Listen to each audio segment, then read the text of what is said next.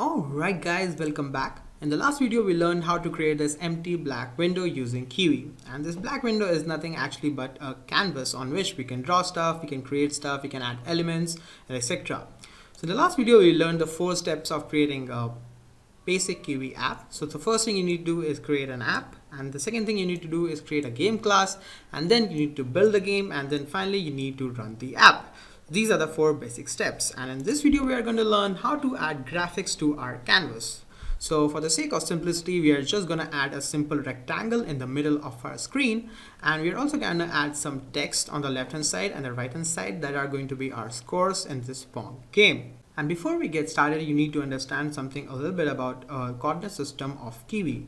So on the left hand side, on the left top corner of the side, the x and y coordinates are 0 comma 0 so this window you can think of it as a x coordinate and a y coordinate graph. So from left to right there is x-axis and from top to bottom there is y-axis. So if you want to go from left to right you just need to increase the x-axis and similarly in y if you need to go from top to bottom you need to increase the y-axis. So for example over here the coordinates on the left top corner the coordinates are 0 comma 0 but if you want to move towards the right hand side in the middle somewhere but still at the top the x is going to increase to half of the screen but the y is gonna still be at 0 so these are the some of the concepts of the coordinate that we are going to be using to create our shapes and positioning them correctly. So before we even do that, we need to create a new file, a new graphics file that Kivy requires, and we're going to just call it pong.kv. So this .kv is an extension that Kivy uses for graphics file. And one other thing you need to make sure is that the name of this file is the same as the app name. So currently our app name is Pong. That is why we have called it pong.kv. Kivy. If our name app name is something different like chess app or the chess app, then this name to be needs to be chess app or the chess app.kivy. You don't need to add app at the end. It just needs to be same as the first word. So over here, the first word is Pong. So we are just calling it Pong. And then I'm just going to click on OK and it's going to create a new file. Then we need to add something known as a rule. So we're going to write Pong game and this is going to apply to all of our game class over here. So for these inside these brackets, these things inside these brackets are known as rules. And we are going to add some elements to our game. So first thing we need to do is put a colon. And then just write, just like in Python, everything has indentations over here, for example, over here. And this is how Python interpreter knows how to execute these statements properly. Similarly, in .kivy, we also need to make sure that the statements are properly indentated. So first we are going to press the tab button so we have a couple of spaces and then we are going to draw something on the canvas and every statement that we need some kind of elements to it needs to have a colon at the end. So any element that has like some kind of attributes like position, size and stuff like that. So in canvas we can draw all kind of shapes and sizes. In this case we need to draw a rectangle so we are going to write rectangle and make sure that the R is in capital not anything else and make sure you also spell it properly. So inside rectangle first we are going to put the colon obviously and then it's going to get some attributes. So the first thing is position and the second thing that we need is the size. So the size I'm just going to put as 10 so the width is going to be 10 pixels and second thing we need is the height. So height we can get of this window as by just by writing self dot height. So self basically means the window itself. So we're gonna be getting the height of this window itself and we are making the size of the rectangle or the height of the rectangle same as the height of this window. That's why we can just write self.height and Kivy gets the height of this window automatically for us. And then the position requires two values, the x-axis and the y-axis.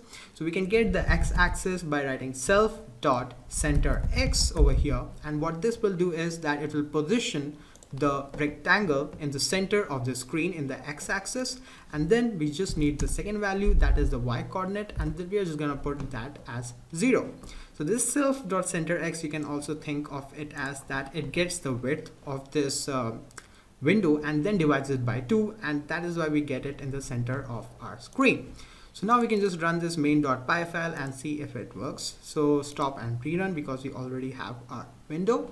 And you can see this rectangle has appeared over here. But you not, might not be able to notice this, but this rectangle is not exactly in the center. So this rectangle has a left side and a right side. So the left side is exactly at the center, but the right side is not. So we want the middle of this rectangle to be at the center. So what we are going to do is we are going to take our size that is the 10 we are going to divide it by 2 that is the 5 and then we are going to subtract 5 pixels that is why we are subtracting 5 pixels. If this value would have been 20 we need to have subtracted 10 pixels over here. So right now the value is just 10 so we're just going to subtract 5 and this will give us the correctly positioned rectangle. All right this looks pretty sweet.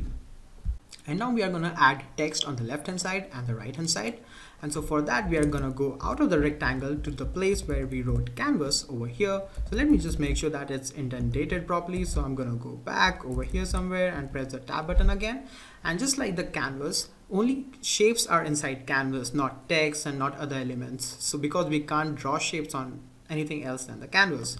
So over here the texts are also known as labels. So I'm just going to write label over here and then press enter and first thing we need our text to have is the size. So I'm gonna give it a font size and we want it pretty big. So I'm just gonna put in 70 and then we want it to be at the center X. So first I'm just gonna write this line and then I'm gonna explain it. So I'm gonna write center X root dot width divided it by 4 so this basically is the x coordinate of where do we want this label to appear. So what we're going to do is we are going to take the width of the window and divide it by 4 so for example, let's say the width of this window right now is 100 pixels. If, if you divide it by 4, that gives you 25 pixels. And if the left hand side is 25, then you can, if the left hand side is 0, then if you add 25 pixels to it, it's going to come somewhere over here. And that is exactly what we need. So this is the, basically the x coordinate and then what we're going to do is we're going to write the top so this is the x coordinate now we need the y coordinate and for that we're just going to write top and then over here we are going to give it the margin of 50 so first what we wanted to do is just go to the top that is 0 and then we're going to subtract 50 from it. That is give it a 50 pixel margin from the top so that it appears somewhere over here. So over here I'm just going to write top. And then we want the top width. So I'm just going to write root dot top. And this will give us basically the length.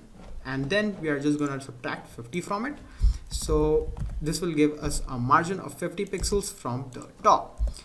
Now I'm just gonna write the last value that is the text that we want to appear on the screen for right now. It's just gonna be zero. This looks pretty good. So now I'm just gonna copy and paste this again at the bottom over here because we want two texts. And these texts are going to be like as scores in this ping pong game. So that is why we need two values. So first font size is perfectly fine but root width we should do into 3 by 4 let me remove the space from here. All right this looks pretty good. So over here if the root dot width is for example let's say 100 pixels then if we multiply it and by 3 by 4 is going to give us the value of 75 uh, this is basically math i'm not going to tell you how to do it but basically you divide 100 by 4 that gives you 25 and then you multiply it by 3 that gives you 75 so 75 if you take it from the x-axis is going to come where? Somewhere over here. So 25 is over here so 75 so i'm going to come somewhere over here. So this looks pretty good. I'm just going to reload our app so that it, to make sure it looks good. All right so this is looking pretty decent. It's a good start for graphics uh, video. So I'm just going to change a couple of values so that you guys properly understand what's happening. Now instead of 50, I'm just going to do this 100 and then I'm going to reload it again so that you guys can see the difference. So you can see the left hand side has like 100 pixel margin from the top and this still has 50. So this is looking pretty good. Um, hopefully you guys under understood this video. Make sure if you have any questions, please ask. And I'll see you in the next video. We are going to create our first ball of the ping pong game. So I'm really excited about that.